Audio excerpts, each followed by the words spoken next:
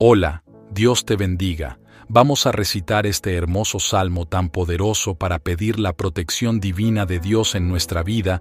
Dispongamos pues el corazón y digamos, en el nombre del Padre, y del Hijo, y del Espíritu Santo. Amén. El que habita al amparo del Altísimo, morará a la sombra del Omnipotente.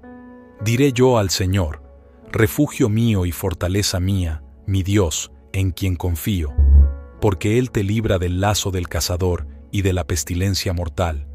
Con sus plumas te cubre, y bajo sus alas hallas refugio. Escudo y baluarte es su fidelidad.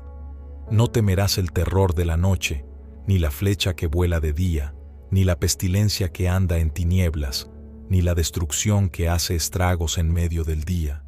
Aunque caigan mil a tu lado y diez mil a tu diestra, a ti no se acercará con tus ojos mirarás y verás la paga de los impíos, porque has puesto al Señor, que es mi refugio, al Altísimo, por tu habitación. No te sucederá ningún mal, ni plaga se acercará a tu morada, pues Él dará órdenes a sus ángeles acerca de ti, para que te guarden en todos tus caminos. En sus manos te llevarán, para que tu pie no tropiece en piedra.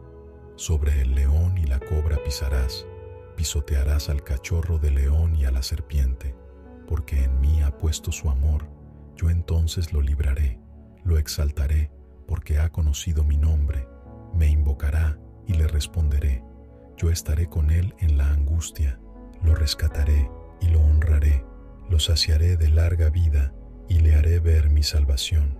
Amén. En el nombre del Padre, y del Hijo, y del Espíritu Santo. Amén. Muchas gracias por orar con nosotros.